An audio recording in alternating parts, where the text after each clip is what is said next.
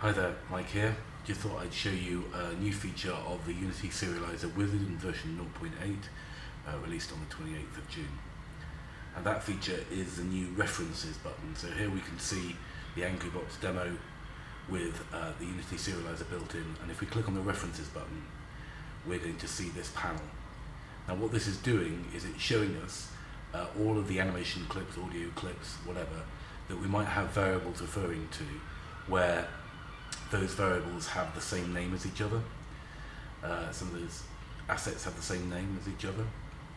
So if we had a variable referring to take one, the way that Unity Serializer works is it says, okay, well, I'll have the first one of take one that I find, or the second one, or the third one. And that's only a problem if then you add some more and they go in in a different order for some reason. So this screen just lets you see that and check whether you appear to be referring to anything that might be duplicated and they'll be marked in yellow if they are. So we have 12 things called plane. Uh, the last one's actually internal to Unity. And the other ones we can get to by clicking on them here and it will ping them up in the product project window. Now I know that we're not actually doing any of these references so we don't need to worry about this warning. But it's just a kind of useful thing to be able to see and uh, then you can help debug your uh, loading issues if you have any. It might be because you've got a non-uniquely named item.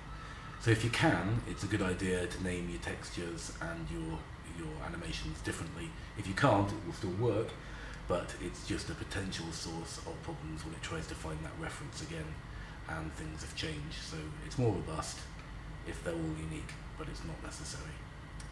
So there you go, the new feature.